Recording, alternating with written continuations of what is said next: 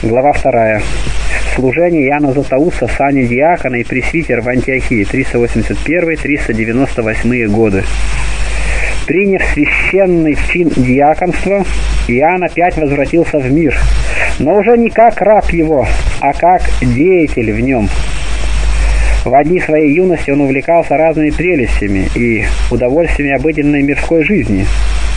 Теперь он, как служитель церкви, выступил на борьбу с этими прелестями и, исполненный духовного мужества, начал с ревностью исполнять свое служение. Обязанности диакона в то время были весьма сложны. Кроме исполнения поручений епископа и служения церкви, он должен был особенно заботясь о разных нуждах немощных и бедных христиан. Ему приходилось посещать больных и утешать умирающих, помогать бедным и изыскивать средства на их содержание. Должность трудная, требовавшая полного самоотвержения и любви.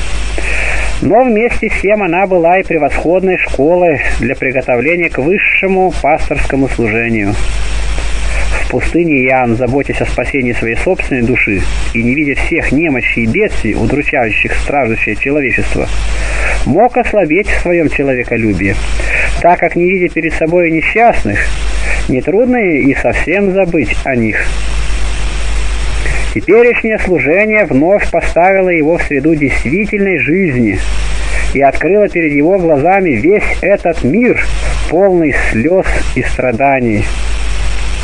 И раньше, будучи адвокатом, он мог знакомиться с оборотной стороной мирской жизни – но там самое его занятие побуждало его становиться на сторону сильных и богатых в их тяжбах с слабыми и бедными.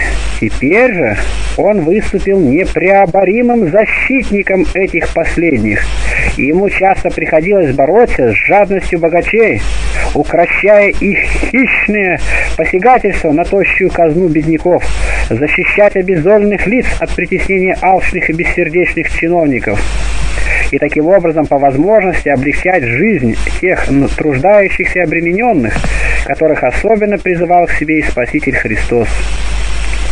Таким образом, Иоанн принял двойное воспитание.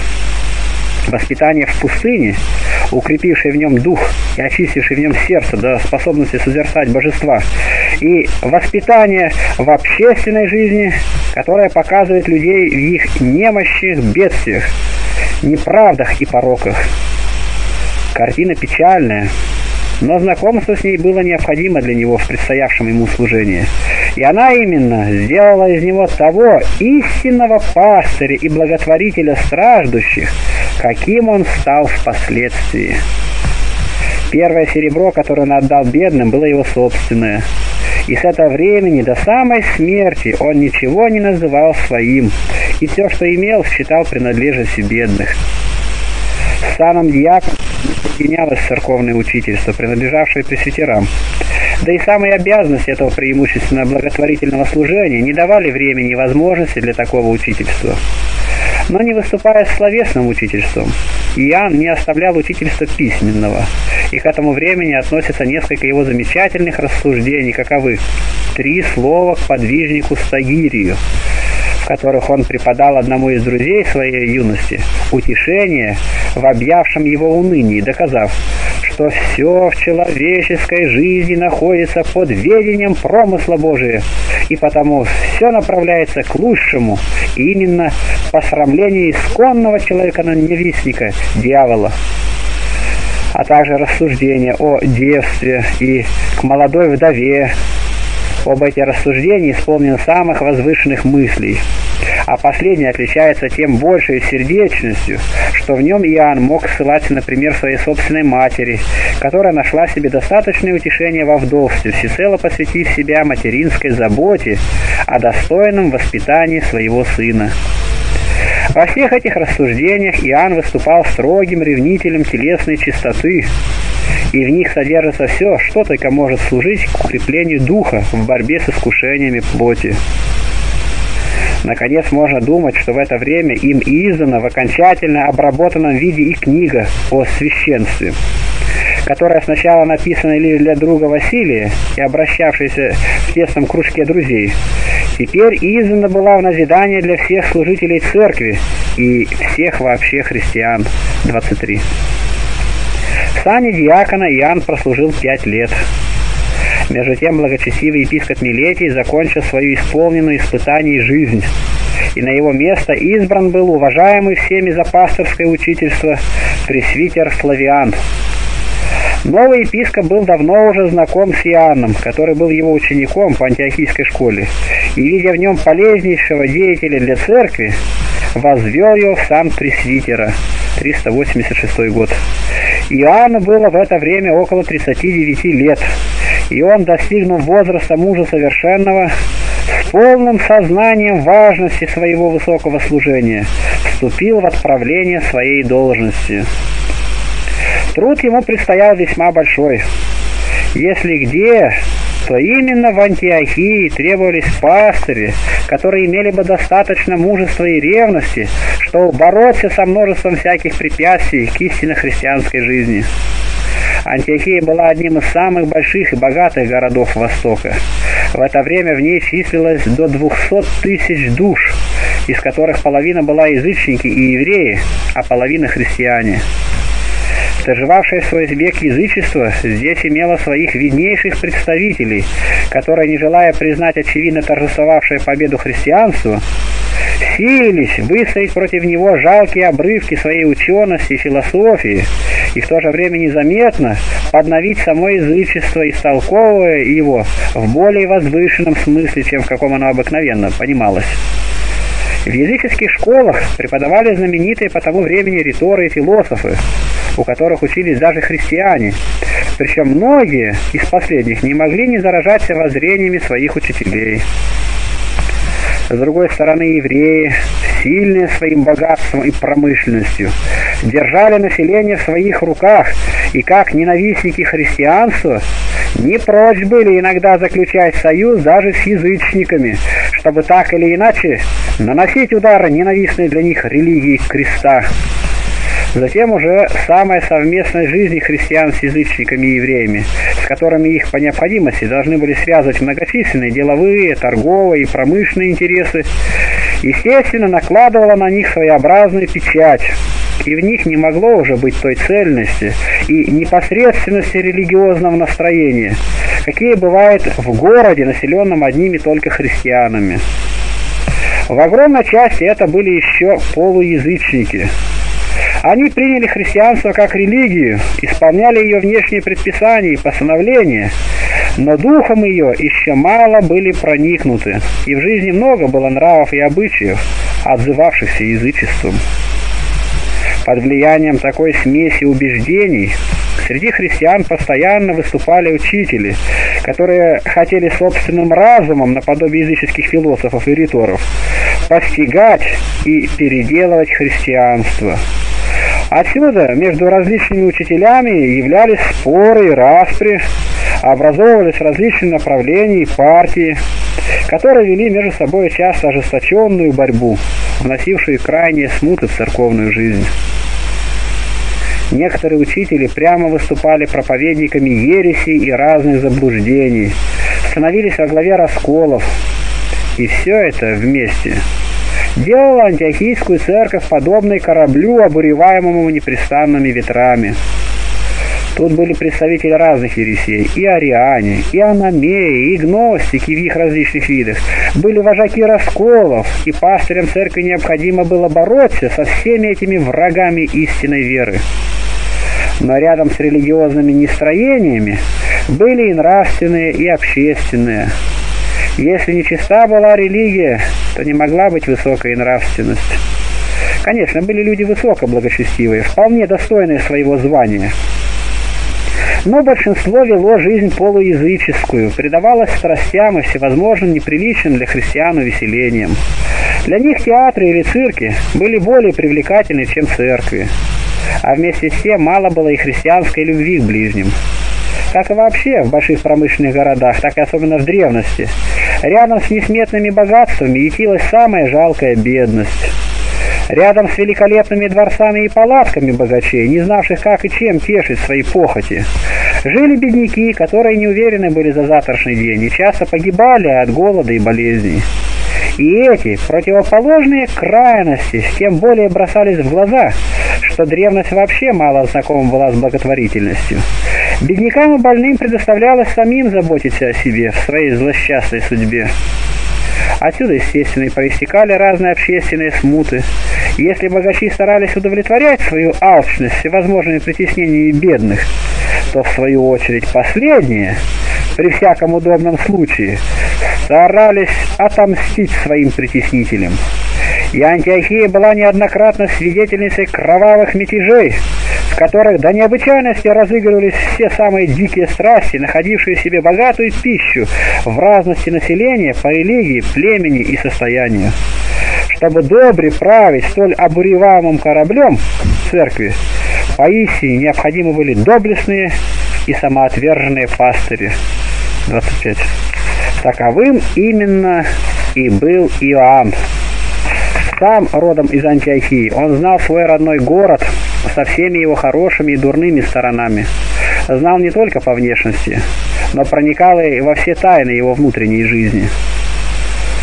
Лучше пастыря для Антиохии не могло быть. Это вполне сознавал благочестивый епископ Флавиан. И ценя в своем ученике незаменимого помощника, предоставил ему самую широкую свободу деятельности и, главным образом, свободу проповеди.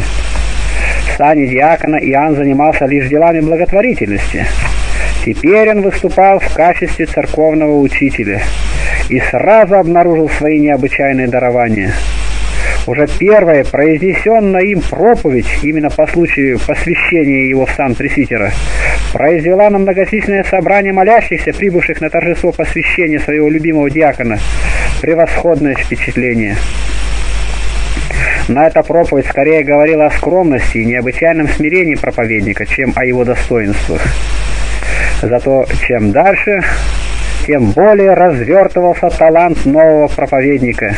И по разноверной и разноплеменной Антиохии, жадной ко всяким новостям и слухам, быстро разнеслась молва, что явился проповедник, которого стоит послушать. И храм, где он служил и проповедовал, всегда наполнялся слушателями, которые с изумлением и восторгом внимали вдохновенным речам Иоанна. Антиохийцы любили красноречие, и поэтому высоко ценили таких риторов, как Ливаний. Но теперь они слышали оратора, который далеко превосходил и этого знаменитого ритора, и превосходил самой силой и убедительностью своей речи.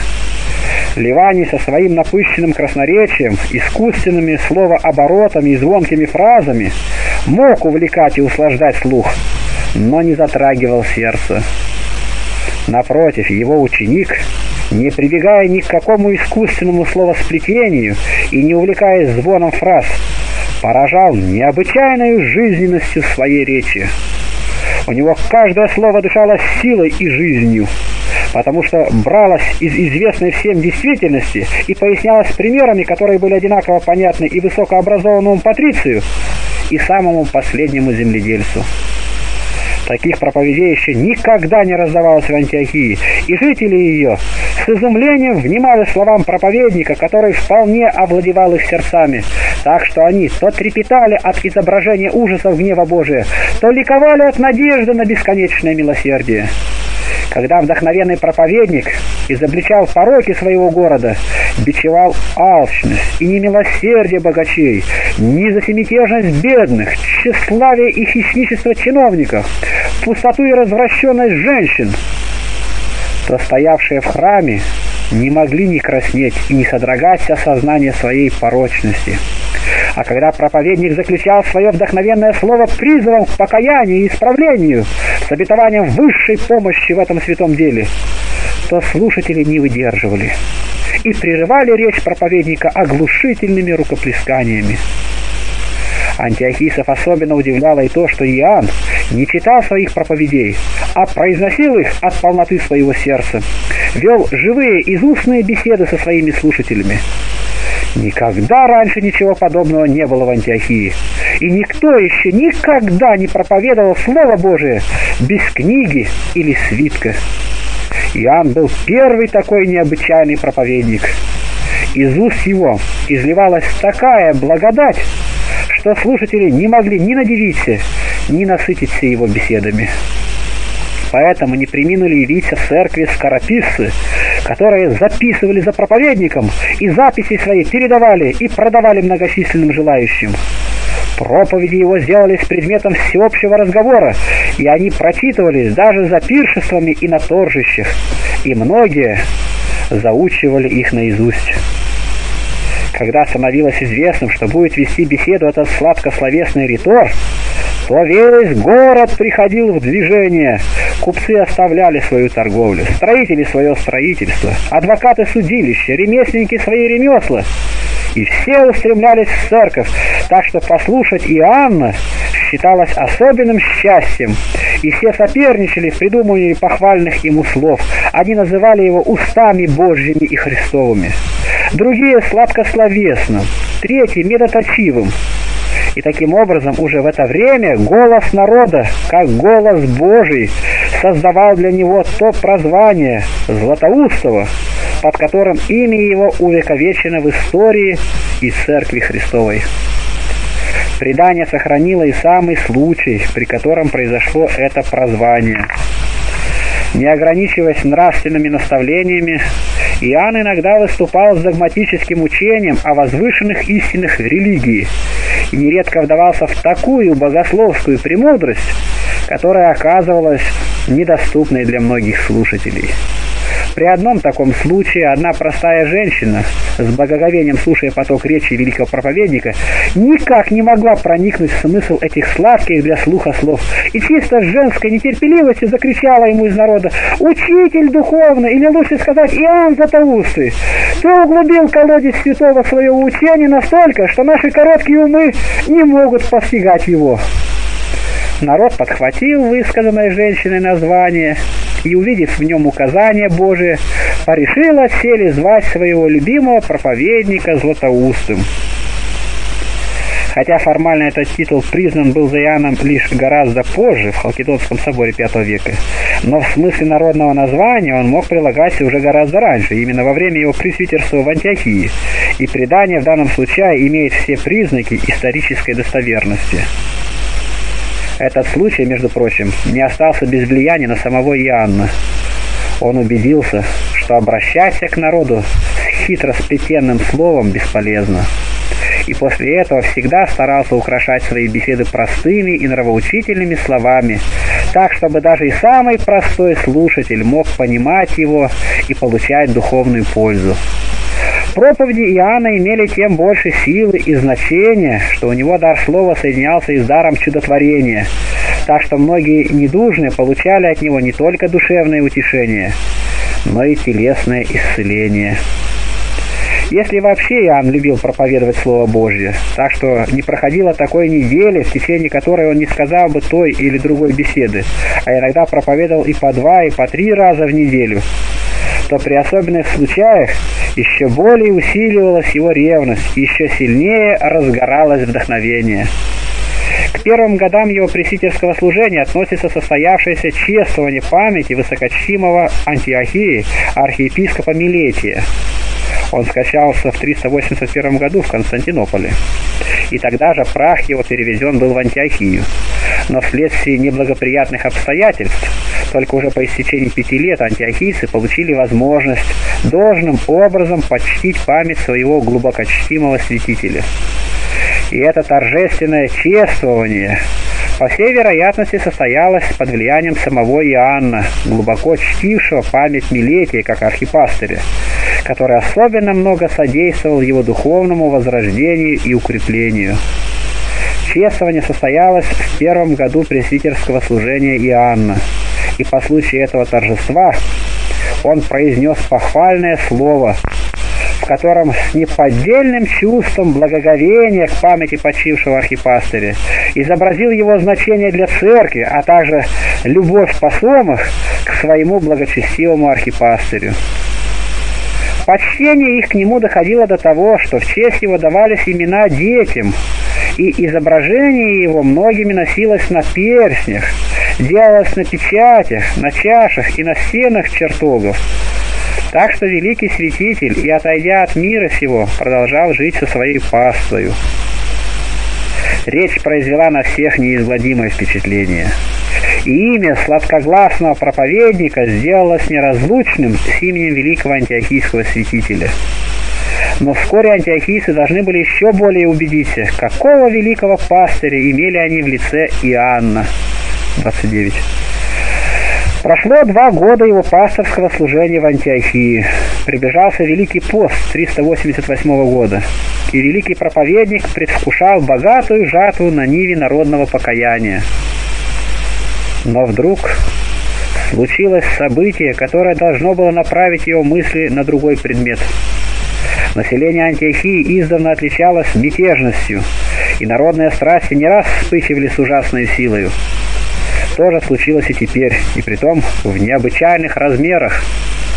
Империя уже в течение почти десяти лет наслаждалась миром под мудрым управлением Феодосии, который, вступив на престол при самых трудных обстоятельствах, когда отовсюду угрожали варвары, своей храбростью сумел обеспечить государство совне и благоустроить его внутри. Как нежный отец, он за четыре года перед тем возвел своего сына Аркадия в сан Августа, и так как приближалось пятилетие этого важного для его сына события, то он порешил отпраздновать его самым торжественным образом по всей империи. А в видах экономии присоединил к этому и торжество в честь десятилетия своего собственного царствования, хотя до исполнения его оставался еще год. Подобные празднества обыкновенно связывались с большими расходами, так как всем войскам раздавались щедрые подарки – по пяти золотых на человека.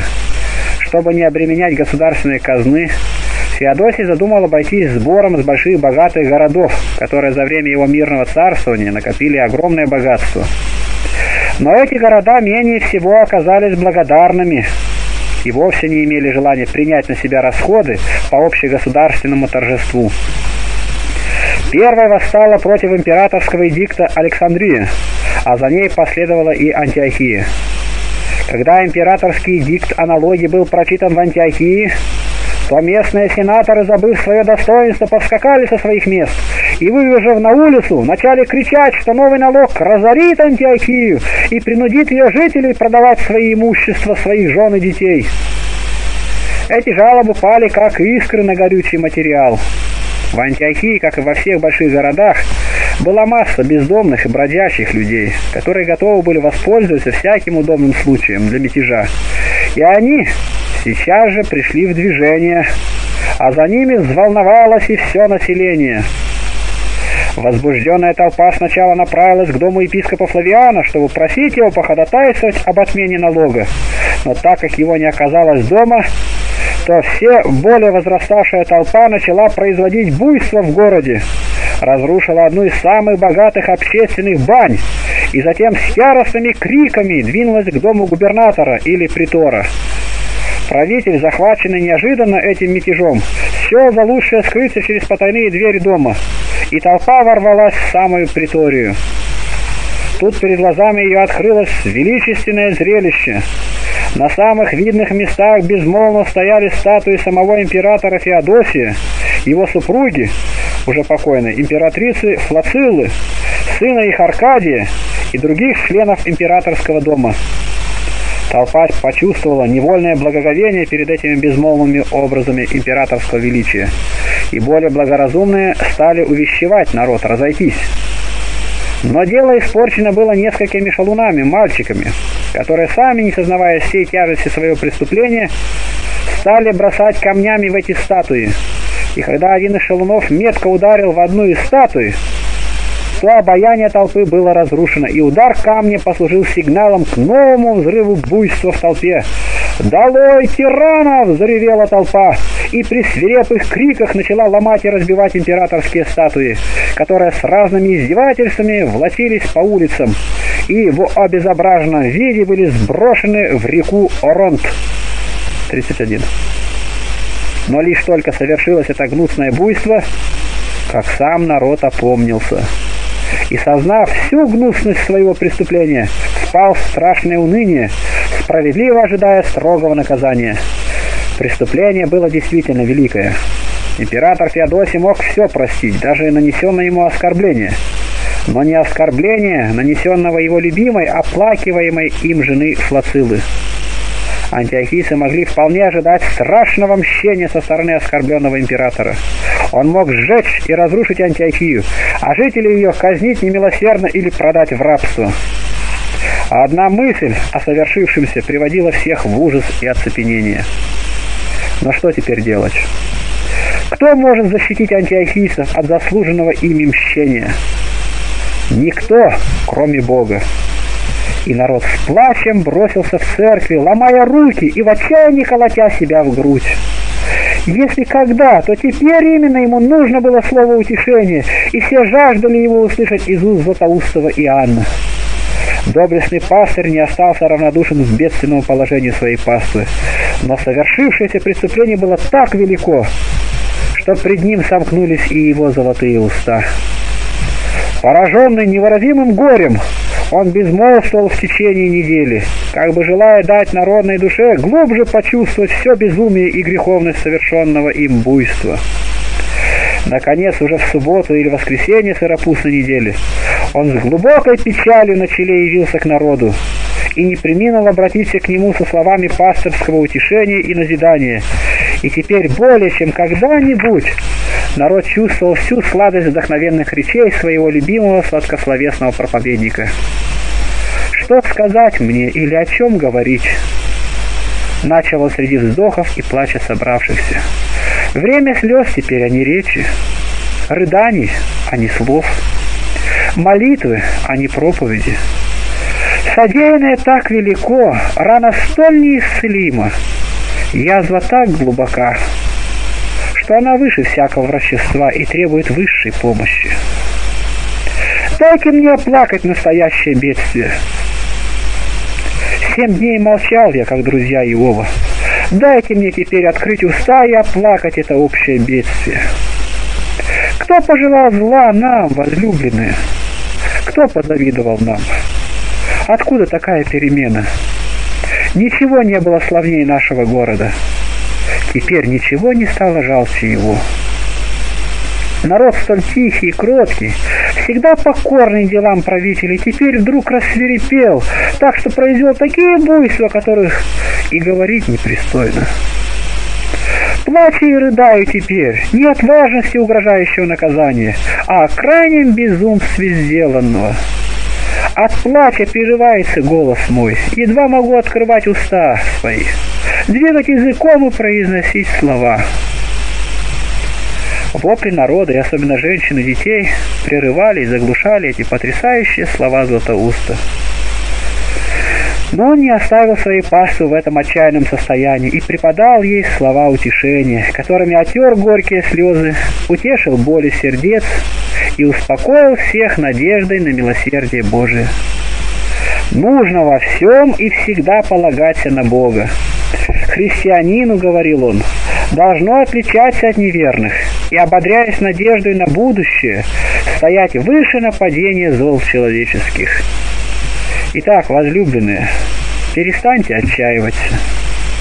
Не столько мы сами заботимся о своем спасении, сколько заботится о нас создавший нас Бог. С облегченным сердцем народ разошелся по домам. Между тем о нем уже заботился и его престарелый архипастырь, когда из Антиохии прискакали в Константинополь гонцы с извещением о мятеже и своими рассказами могли настроить императора к самому ужасному беспощадному мщению. Престарелый святитель Флавиан порешил сделать все возможное для смягчения царского гнева. Он был уже в преклонных летах и немощен телом, но, несмотря на это, он порешил лично отправиться в столицу, чтобы своим ходатайством утишить праведный гнев императора. Путь был далекий и трудный, особенно для, для старца. Антиохия стоит от Константинополя не менее как на 1200 верст. Но он, как истинный пастырь, готов был положить душу свою за своих овец. И действительно, немедля двинулся в путь, стараясь даже предупредить гонцов. К несчастью, глубокие снега задержали его в горах Тавра, и гонцы прибыли раньше его. Но он не пал духом и, преодолевая все препятствия и трудности, продолжал свой путь, пока с трепетным сердцем не прибыл в столицу. Никто не мог угадать, чем закончится его это ходатайство любвеобильного, самоотверженного старца-архипастыря. Поэтому народ находился в необычайно томительном состоянии. И вот в это ужасное томительное время Иоанн и был истинным утешителем страждущего народа. И за дня в день, почти непрерывно, в течение 22 дней, он выступал со словами назидания и утешения перед своей несчастной паствой. И народ с трепетным вниманием слушал своего златоустого пастыря, который в своих знаменитых беседах о статуях то с необычайной живостью изображал пережитые ужасы и буйства, возбуждая в народе стыд и негодование на свое собственное безумство и вызывая слезы раскаяния, то неподдельными чертами рисовал бесконечность милосердия Божия, пробуждая каждый раз сладостную надежду тем на помилование, и народ каждый раз выходил из церкви все с более и более очищенным и успокоенным сердцем, высылая Господу Богу благодарение за то, что ему выпало на долю неизмеримое счастье иметь столь великого и поистине доброго пастыря-проповедника своей беседы к антиохийскому народу Иоанн продолжал в течение почти всего Великого Поста, и они представляют поразительное доказательство того духовного взаимообщения, в котором жил и действовал знаменитый пастырь. Так как умы всех были заняты одним и тем же вопросом, как-то поспеет престарелый архипастырь прибыть в столицу, как-то примет его император, и каков будет исход его ходатайства, то златоустый проповедник всецело занят был этими же самыми мыслями. И каждое известие или о путешествии Флавиана, или о его ходатайстве служило исходной точкой для его бесед, которые поэтому и выслушивались всеми с трепетным сердцем и глубоким вниманием. Между тем приближалась развязка. Гонцы опередили престарелого Флавиана, и раньше его передали императору известие о мятеже и нанесенном ему оскорблении. Император немедленно отправил особых уполномоченных сановников произвести строжайшее дознание. И вот эти сановники уже прибыли в город и начали не только производить расследование, но и расправу. Город объявлен был лишенным присвоенных ему прав и преимуществ. Произведены были многочисленные аресты виновных, которых было так много, что в темницах не оказалось для них мест, и они были заперты в огромной загороде без кровли. Все население впало в уныние и отчаяние, и, по-видимому, ниоткуда не было надежды на спасение. Но вот когда полномочные сановники в третий день своей расправы ехали к месту своего публичного заседания, им загородили дорогу какие-то странные люди с истощенными постными лицами. Это были окрестные отшельники, которые, услышав о страшном бедствии, постигшем Антиохию, оставили свои пещеры и явились в город, чтобы оказать посильную помощь несчастным. Не имея ничего общего с этими греховными, с этим греховным миром и никого не боясь, кроме Бога, они смело выступили перед полномочными сановниками и умоляли их даровать милость и прощение Антиохии. Особенно неустрашимо действовал и говорил один из них, маленький немощный старец Македоний. Ухватившись за плащ одного из сановников, он заставил его сойти с коня, и когда тот сошел, начал его и другого полномочного убеждать, чтобы они спросили у императора милости и прощения несчастному городу. Ведь император человек, и он может понять, как опасно для человека губить подобных ему. В состоянии ли он будет воскресить тех, которые падут жертвой его гнева? Пусть вспомнит о гневе Божьем. Сановники были поражены этими словами необычайного отшельника, глубоко уважавшегося народом, и, обещав походатайствовать перед императором, двинулись дальше к притории, где уже с трепетом ожидали их толпы людей, приговоренных к смерти. Но тут они встречаются с новой преградой. У самых ворот притории их встречает сон епископов и пресвитеров, среди которых на самом видном месте был Иоанн Златоуст. И эти истинные пастыри заявляют, что они не пустят сановников в приторию, пока не получат от них обещание помиловать осужденных. Они могут войти в приторию только через их трупы. И затем, обнимая колено сановников, они то смиренными мольбами, что угрозами страшного гнева Божия за бесчеловеченность настолько растрогали их, что они произнесли прощение. Слух о чем мгновенно разнесся по огромной толпе народа, и все, как пастыри, так и посомые, со слезами радости благодарили их за такое милосердие. Один из сановников, благородный Кесарий, немедленно отправился в Константинополь, чтобы донести обо всем совершившемся и ходатайствовать перед императором за несчастный город. 35. Когда он поспешно ехал к столице, там в это время престарелый Флавиан употреблял все усилия, чтобы добиться аудиенции у императора и спросить милости к своей преступной пастве. Но усилия его оставались тщетными. Разгневанный император и слышать не хотел о ходатайстве старца-епископа за преступный город и не давал аудиенции. Глубоко огорченный архипастырь уже отчаивался в успехе своего дела, как прибыл Кесарий и, объяснив императору положение дела, склонял его помиловать Флавиан с глубоким волнением, но в то же время и самообладанием объяснил императору все безумство деяния несмысленной черви, черни, которая более заслуживает сожаления, чем гнева, и просил милости своему несчастному городу. Император, конечно, может сжечь и разрушить Антиохию, и она действительно достойна даже более жестокого наказания. Но он должен помнить, что и над ним есть Царь Небесный, который заповедал всем людям взаимное милосердие, говоря, «Если вы будете оставлять людям прегрешения их, то и Бог оставит вам согрешения ваши».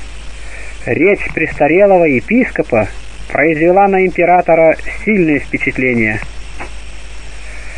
Сердце его смягчилось, и он воскликнул, что если владыка мира, сошедший на землю и распятый теми, кому он принес величайшее благодеяние, молился Отцу своему небесному за своих ярых врагов, говоря, «Прости им, не видят, Бог, что творят», то тем более люди должны прощать нанесенные им оскорбления.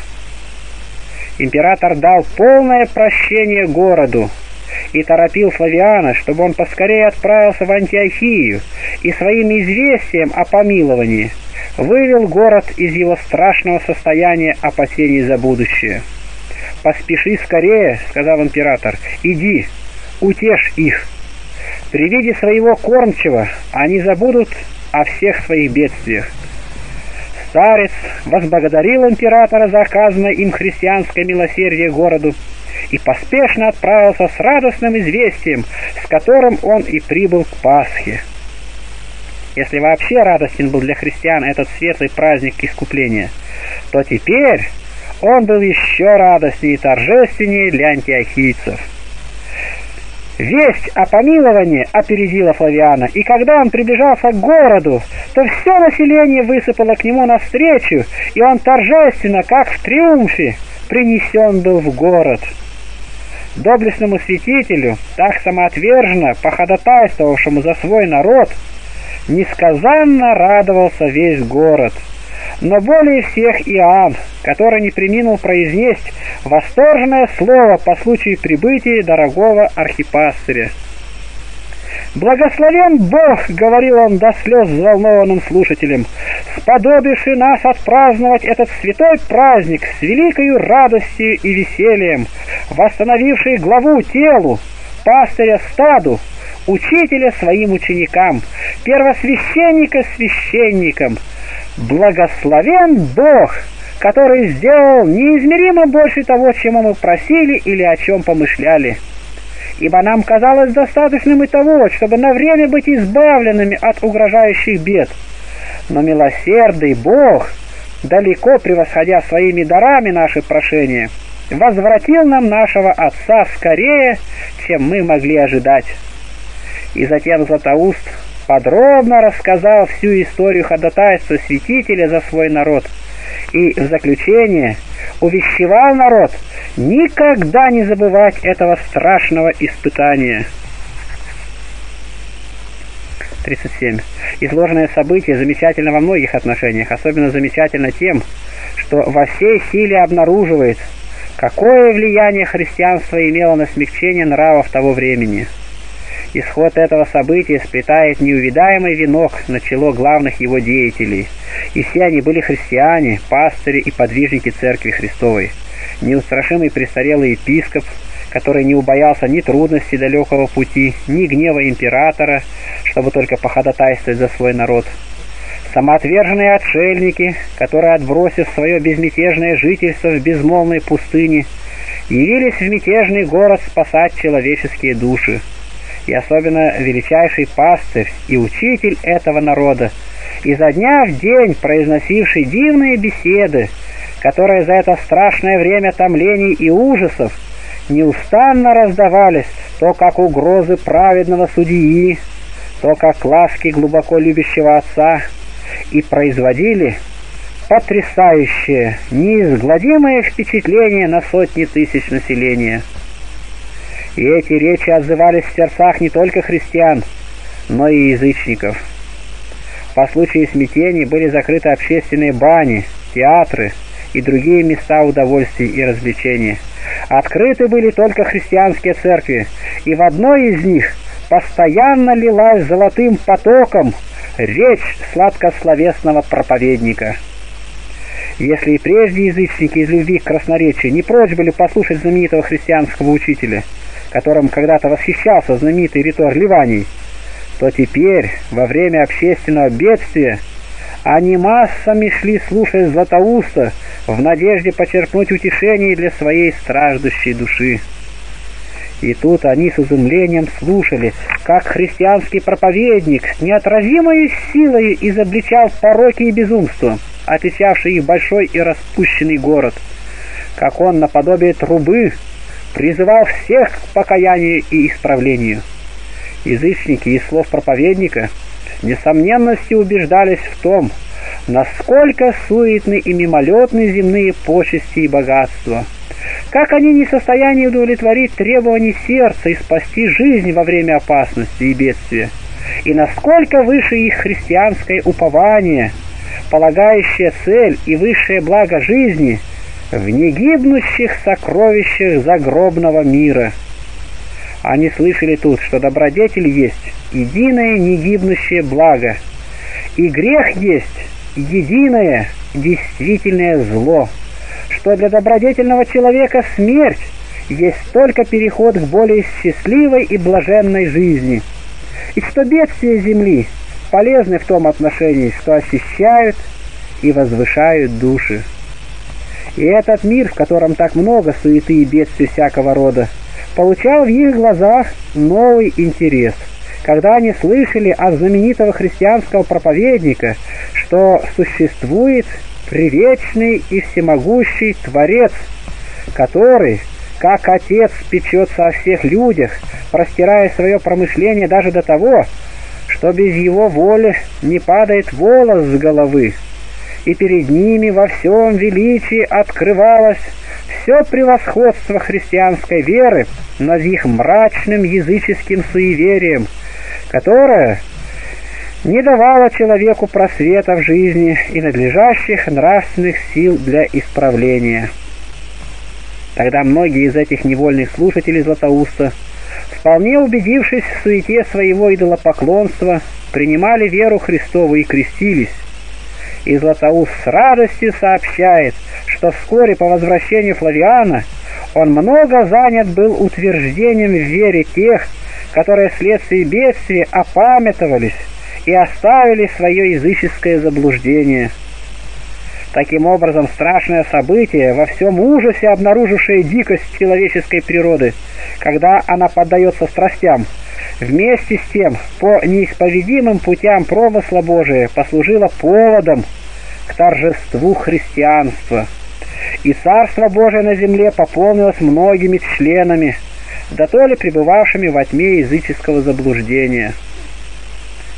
Пережитые Антиохии страшные события требовали от самоотверженного пастыря столько необычайного душевного напряжения, что оно даже неблагоприятно отозвалось на его здоровье, и он несколько времени проболел. Но оправившись от болезни, он вновь с прежней ревностью принялся за свое пасторское служение. И Антиохия еще в течение целых десяти лет пользовалась вдохновенным учительством и назиданием своего златословесного пресвитера-проповедника. 39. Не только из недели в неделю, но, можно сказать, изо дня в день Антиохийская церковь имела великое счастье слушать беседы златословесного пастыря, который не знал устали на своем пасторском служении и сам глубоко изучил книги Священного Писания и поучал в нем и своих слушателей, открывая перед ними тайны чудесного домостроительства Божия о спасении людей. Обладая изумительной способностью отзываться на все явления общественной жизни и на все движения человеческой души, святой Иоанн не оставлял без внимания ни одного выдающегося события из его времени или явления в окружающей его жизни.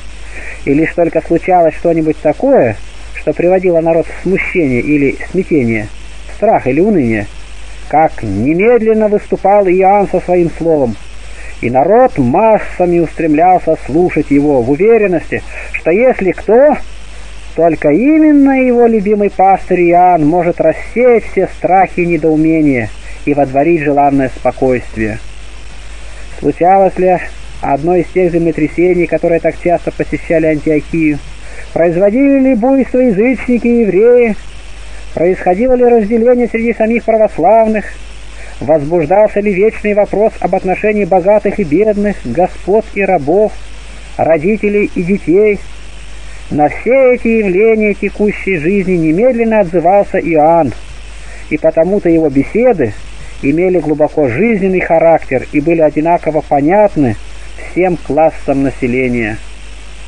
Вследствие этого между пастырем и паствой образовалась глубокая нравственная связь, которая представляет вечно поучительный пример того, чем может быть истинный христианский пастырь для своей паствы.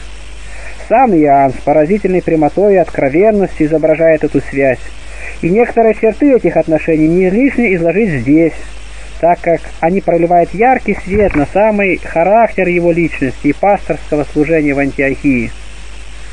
При рассмотрении пасторской деятельности Иоанна с этой стороны невольно припоминается изречение божественного пастыря-начальника, который, определяя идеал отношений между пастырями и посомами Церкви Божией, говорил, что «добрый пастырь знает своих овец, и овцы знают его и слушают голоса его».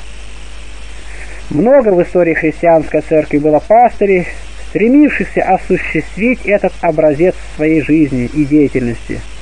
Но самый замечательный пример осуществления его в пределах возможностей для человеческих сил представляет именно святой Иоанн Златоуст.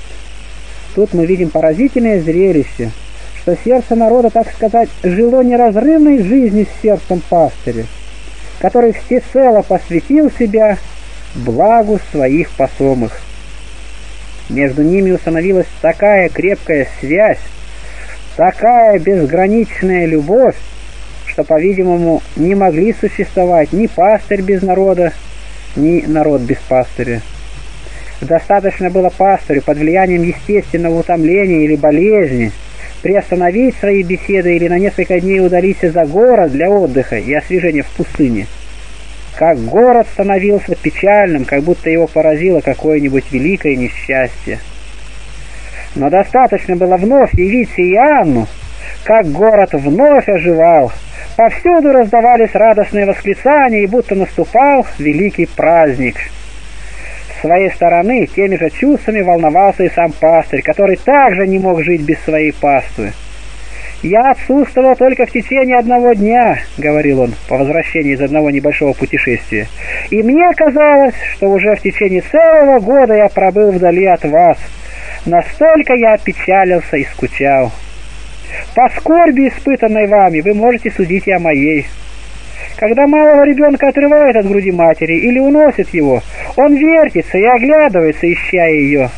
Так, когда и я был оторван из среды вас, как от груди материнской, все мои мысли устремляли меня к этому священному собранию. В другой раз, когда по случаю болезни он должен был безвыходно пробыть в своем доме в течение нескольких дней, по выздоровлению он говорил, «Сегодня, вновь находясь среди вас, я испытываю такое же чувство, как если бы возвратился из долгого путешествия. Когда два друга не могут видеться между собою, что пользы, если они даже живут в одном и том же городе? Не покидая своего дома, я был так же отчужден, как если бы великое расстояние разделяло меня от вас, потому что я не мог беседовать с вами. При моих страданиях более всего удручало меня то, что я не мог принимать участие в этом возлюбленном собрании, и теперь, когда я выздоровел, своему здоровью я предпочитаю удовольствие, свободно пользоваться вашей любовью. Жажда от горячки не бывает сильнее, чем желание вновь свидеться с нашими друзьями, когда мы были лишены их. Как горячечный жаждет свежей воды, так отсутствующий друг жаждет своих друзей. При другом обстоятельстве, когда Иоанн, подавленный неустанными трудами, отправился отдохнуть и подышать горным воздухом пустыни, к нему полетели письма со стороны посомых, которые умоляли его возвратиться поскорее – и он возвратился, хотя здоровье его требовало бы еще отдыха и укрепления. Взойдя на свою кафедру, он говорил, «Неужели правда, что вы помнили обо мне в мое отсутствие? Что до меня, то я не мог забыть о вас ни на мгновение». Плененный телесной красотой, повсюду, где только не ходит, носит свои мысли любимый образ. Так и мы, плененные красотой ваших душ, повсюду носили ваш образ в сердце своем. И как живописцы через соединение красок воспроизводят вид предметов, так и мы, представляя себе вашу ревность к нашим беседам, вашу любовь к проповеди, ваше благоволение к проповеднику и все отличающее вас добро, делали из ваших добродетелей, как из красок, образ ваших душ. Созерцание его облегчало нам скуку отсутствия. Сидя или стоя, в покое или движении, в доме или вне его – Везде и всегда мы были преследуемы этими мыслями. Даже самые сны наши заняты были вашей любовью, и во время ночи, как и в течение дня, мы питались сладостью этих воспоминаний, повторяя слова Соломона. «Я сплю, а сердце мое бодрствует». Песни 2.5. Я уступил вашим настояниям, предпочел скорее возвратиться, не выздоровев, чем, ожидая своего выздоровления, испытывать вашу любовь. Вот почему я встал и пришел к вам. Вот поистине добрый пастырь, готовый положить душу свою за овец своих. 42. Но добровольно подчиняясь этой до крайности сильной любви своей паствы и потворствуя ей в этом отношении, даже до пренебрежения своим здоровьем, Иоанн не упускал случая укорить своих слушателей за легкомыслие и увлечение внешними красотами речи, а не ее внутренним содержанием, требовавшим нравственного возрождения. Когда слушатели в восторге от увлекательных бесед своего любимого проповедника, по обычаю тогдашнего времени, разражались громом одобрительных рукоплесканий, Иоанн строго говорил им, «Я не желаю ни ваших рукоплесканий, ни этого шума. Все мое желание, чтобы вы, в безмолвии выслушав то, что я говорю вам, применяли это наставление в жизни. Вот похвалы которых я желал бы. Вы ведь не в театре, не перед актерами, здесь школа духовная, и вы должны доказывать свое послушание вашими делами. Только тогда я буду считать себя вознагражденным за свои труды. Такие укоры, конечно, многим не нравились. И находились люди, которые даже не стыдились поносить проповедника и смущать совесть его паствы. На борьбу с этими злыми людьми Иоанн должен был немало тратить времени и трудов. Но он с безграничным самоотвержением прощал все такие злословия, когда они касались лично его. Зато глубокой скорби поражалось его сердце, когда по тем или другим причинам слушатели охладевали к его беседам и увлекались каким-нибудь новым театральным увеселением. Подобные явления бывали нередко среди этого горячего, страстного, легкомысленного и подвижного народа, который быстро менялся в своем настроении и в один день мог портить то, что созидалось годами. Как недорог был им зато словесный проповедник, о котором они тосковали, когда не видели или не слышали его в течение нескольких дней. Но достаточно было устроить в театре какой-нибудь необычайный гиподром с его увлекательными скачками, как антиохийцы покидали церкви и устремлялись смотреть на лихие скачки. Такое непостоянство и легкомыслие до крайности огорчало великого проповедника. И он неоднократно с горечью восклицал, Неужели напрасно тружусь я? Неужели сею я на камне или среди терновника? Опасаюсь, что мои усилия не приведут ни к чему. Еще более огорчало его неблагоговейное поведение в церкви. Можно ли сказать, церковь сделалась театром? Сюда приходят женщины, одетые с большим неприличием и бесстыдством, чем те, что блудодействуют там. За собой они привлекают сюда и бесстыдников. Если кто хочет соблазнить женщину, никакое место, мне думается, не кажется ему удобнее церкви.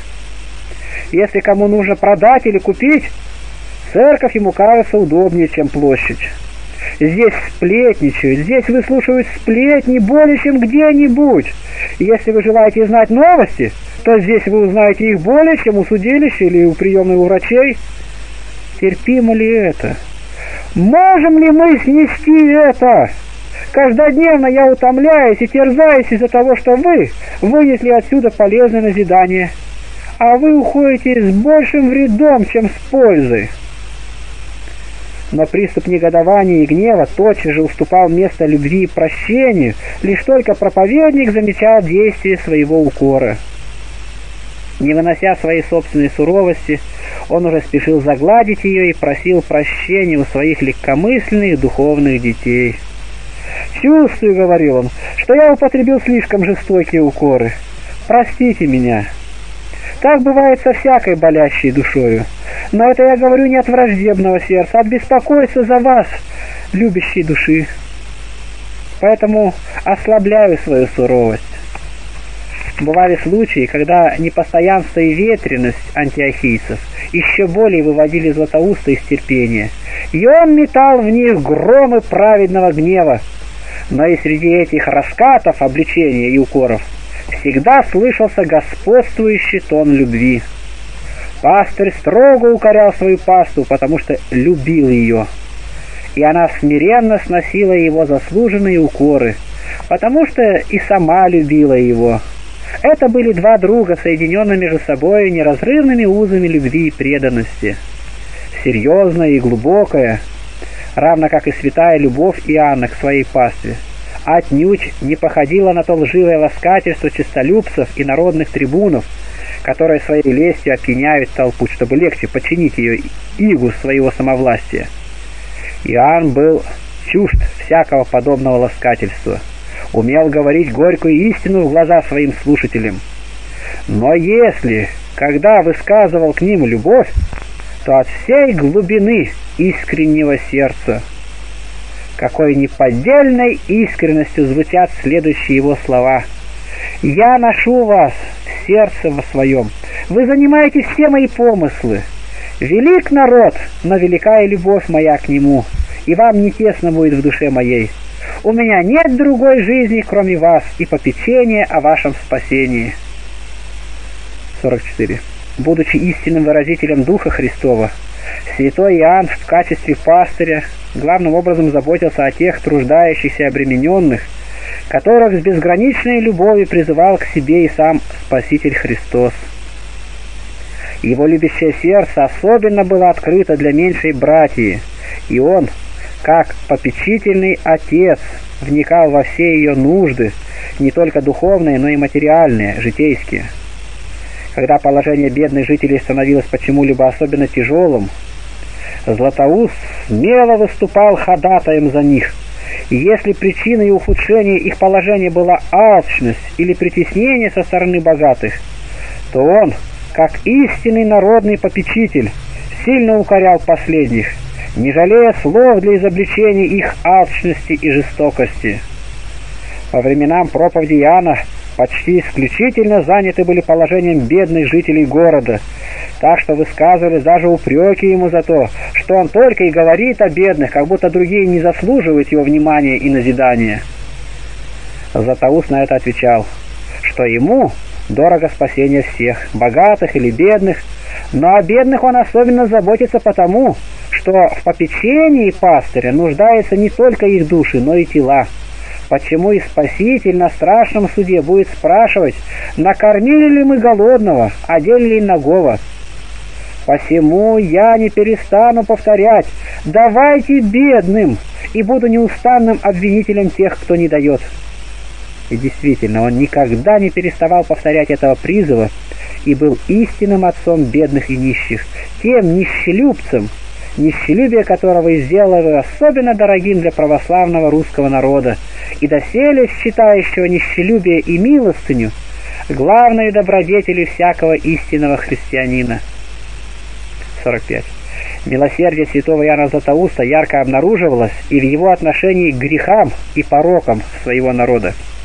Сам, будучи великим и суровым подвижником, он был непримиримым врагом и обличителем всякого греха, неумолимым гонителем всяких пороков и страстей и вел с ними ожесточенную борьбу. Зорко следя за всеми движениями как во внешней, так и во внутренней жизни своей паствы, он грозно бичевал все уклонения от святости и христианского долга, и его обличительные речи по временам звучали как раскаты громов небесных, и слушатели трепетали, представляя себе те страшные муки, которые они уготовили себе своими делами. Но эта вражда к грехам и порокам у святого Иоанна никогда не переходила во вражду к самим грешникам. Напротив, чем сильнее он метал грома обличения против грехов, тем большим сожалением и любовью проникался к самим грешникам, видя в них заблудших овец, требующих любящего попечения пастыря. Поэтому лишь только он замечал действие своих угроз, как смягчал свой тон, вместо громов из его уст раздавались слова любви и ободрения, и главным предметом его беседы становилась уже бесконечность милосердия Божия, перед которым всякий человеческий грех тонет, как капля в океане. Любимым его текстом было изречение Спасителя. «Сын человеческий пришел не погублять души человеческие, а спасать». И развивая его смысл, святой Иоанн старался внушить своим слушателям ту мысль, что нет такого греховного падения, от которого не мог бы восстать человек. И его рассуждения производили тем более сильное впечатление, что часто подтверждались наглядными примерами не только из Библии, но и современной жизни. «Не слыхали ли вы, — говорил он однажды, — о той блуднице, которая превосходила всех погибших женщин и которая впоследствии превзошла всех святых своим благочестием? Я говорю не о той, что в Евангелии, а о той, которая была столь знаменитой около времени моего рождения».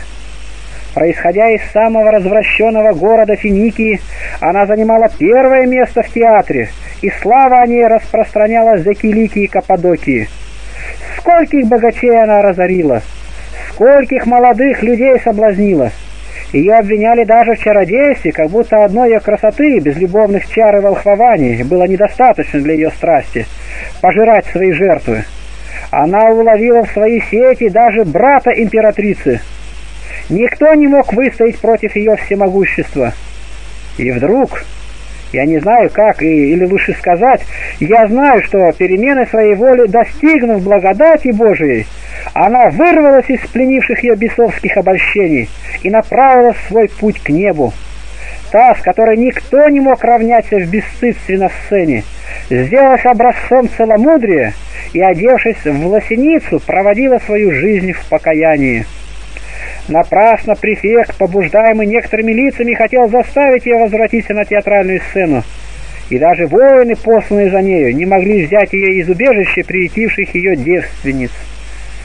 Допущенная к святым тайнам, очищенная благодатью, она достигла высшей добродетели, никогда не показывала своим поклонникам и заключилась в своего рода темнице, где и провела несколько лет.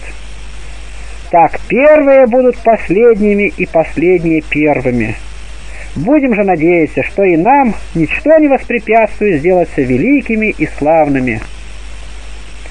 Такие беседы могли иметь глубоко ободряющее значение для самых закоснелых грешников, спасая их от уныния и отчаяния и поддерживая надеждой на милосердие Божие. Поистине, якорем спасения для всех отчаивающихся грешников – могут служить следующие слова златоустого пастыря. «Ты грешник, не отчаивайся. Я не перестану снабжать вас врачествами, ибо знаю, какое оружие против дьявола. Не отчаиваться. Если ты во грехах, не отчаивайся. Я никогда не перестану повторять. Если грешишь каждый день, то и кайся каждый день. Ты застарел во грехах. Обнови себя покаянием. Но можно ли, спросишь ты, покаянием достигнуть спасения? Конечно, можно. Если я всю жизнь свою провел во грехах и принесу покаяние, спасусь ли? Конечно, спасешься, ибо милосердие Божие неизмеримо, и благость Его неизреченна. Зло, каково бы оно ни, ни было, есть зло человеческое, и потому ограниченное. А прощающее милосердие есть Божие, и потому бесконечное. Представь себе искру, падающую в море. Может ли она оставаться там или быть видимою? Что искра перед морем, то и зло человеческое перед благостью Божией. И даже не настолько, но благость гораздо больше. Море, как оно невелико, имеет пределы, а благость Божия не имеет границ. 47. Будучи проповедником милосердия и всепрощения, святой Иоанн Златоуст был вместе с тем и пастырем мира. Он был враг всякого разделения и раскола, и потому его сердце болело при виде того разделения, которое существовало в самой Антиохии между православными в его время. В своих беседах он часто возвращался к этому предмету и старался уяснить самый корень зла разделения, который заключается вовсе не в религиозной ревности, а себелюбии и властолюбии. «Ничто так не разъединяет церковь, — говорил он, — как властолюбие. Ничто не возбуждает так гнева Божия, как разделение в церкви. Даже если бы мы делали самые совершенные дела, но разрывая единение, будем наказаны, как если бы мы разрывали тело Господа. Даже мученичество не заглаждает такого греха. Для чего ты несешь мученичество? Не ради ли славы Иисуса Христа? Ты отдаешь свою жизнь за Иисуса Христа и в то же время расхищаешь церковь, за которой умер Иисус Христос. Подобными увещаниями он много содействовал укращению страстей и разделения в церкви. И, наконец, имел счастье дожить до того сладостного дня для него момента, когда партия окончательно примирились и разделение прекратилось. В таком живом взаимообщении со своей паствой святой Иоанн провел лучшие годы своей жизни. К этому времени именно относятся все его главнейшие произведения, как собеседовательные, так и полемические. В своих непрерывных беседах он истолковывал не только отдельные места и тексты, но и целые книги Священного Писания, как Ветхого, так и Нового Завета. И эти-то толкования и составляют главную славу его как экзегета. К антиохийскому периоду его служения относятся следующие толкования. На Ветхий Завет, Бытие, Псалтырь, книгу пророка Исаия и Нового Завета – его толкование отличается чудесной ясностью, простотою и жизненностью, так что составляет лучший образец истолковательного труда и неиссякаемый источник богословского знания и религиозно-нравственного назидания. Лучшими его толкованием признаются беседы на Евангелие святого Матфея и на послание апостола Павла. Принадлежа к антиохийской школе толковников, ставившей своей задачей в противоположность школе Александрийской – истолкование буквальное, чуждое всякой таинственности. Святой Иоанн Златоуст в этом отношении достиг высшего истолковательного совершенства. Будучи знаком и с творением Александрийских толковников, изучив знаменитейшего из них Оригена, он занял то именно среднее положение, которое составляет идеал и сущность православной экзегетики – Шаг за шагом, следя за священным текстом, он излагает его самый естественный, прежде всего дающийся уму смысл, и сначала выводит из него догматическое учение, а затем указывает и вытекающие из него добродетели, смотря на последнее, как на учение в его практическом приложении. И все это излагается с чудесной простотою, ясно и чрезвычайно отчетливо – У него нет ничего такого, что было бы простым умозрением, простой страстью к учительству, с неизбежными тонкостями и мелочными изысканиями. Все у него льется прямо от полноты сердца и направляется к возвышению и освящению жизни. Своих толкований он не писал и не высиживал в кабинете, а обращался с ними в живой беседе с народом в церкви. Отсюда та одушевленность и жизненность каждого его слова, которые глубоко проникали в души слушателей. Тот огонь, который поистине способен был зажигать сердца людей. 49. В течение своей продолжительной пасторской деятельности в Антиохии святой Иоанн настолько сжился и сроднился со своими посомами, что все его помыслы сосредотачивались только на одном – как бы лучше и действеннее назидать их, вернее охранять от заблуждений и полнее раскрывать перед ними ту истину, что вера в Иисуса Христа есть источник всяких благ. Выше этой цели он уже и не ставил себе ничего, и надеялся среди них именно закончить и свою жизнь. Правда, бывали времена, когда до крайности утомленный трудами и подавляемый огорчениями вследствие легкомыслия и безумств своего народа, он невольно бросал тоскливые взгляды к окружающим горам, где он когда-то подвязался в святом уединении в годы юности, где так мирно и отрадно жить на лоне безмятежной природы в уединении с Богом, и где действительно продолжали вести такую жизнь многие из земных ангелов, как он любил называть отшельников. Иногда он даже временно удалялся в эти горы, чтобы отдохнуть и освежиться от истощающих его трудов и шумной суеты городской жизни. Но трудовая жизнь пастыря теперь уже настолько овладела им, что он не мог навсегда порвать с нею, и потому всегда после непродолжительного отдыха вновь возвращался к своей возлюбленной пастве, также тосковавшей по своем отсутствующем пастыре, и от глубины искреннего сердца говорил – Хорошо вижу, что я не могу оставить этого места пребывания, и что мне надлежит оставаться здесь до конца моих дней. Но промысел Божий судил иначе. Великий светильник церковный, некогда выведенный из подспудного уединения в пустыне и поставленный на свечнице церковном среди многолюдного города, давал вокруг себя такой сильный и благотворный свет – что ему мало было и этого города.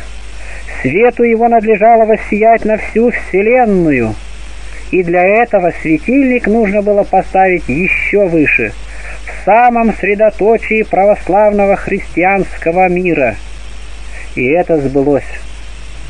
В 397 году скончался престарелый архиепископ Константинопольский Нектарий, и таким образом овдовела первенствующая кафедра Восточной Вселенской Церкви. На эту-то славную кафедру промысел Божий и возвел святого Иоанна, чтобы сделать из него не только великого святителя, но и великого мученика за правду.